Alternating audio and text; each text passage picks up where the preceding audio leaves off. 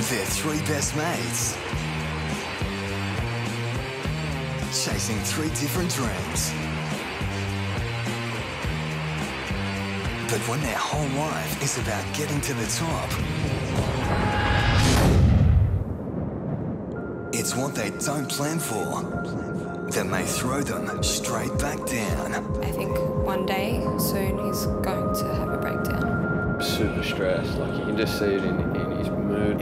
Writing off as much, he's not as happy, and you could see that sort of wearing him down. But keeping their head above water is what the crew do best.